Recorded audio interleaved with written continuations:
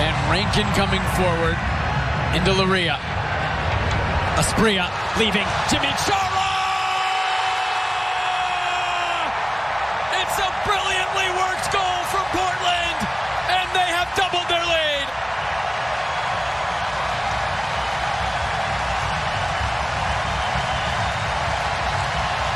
but you need to see him on the score sheet more.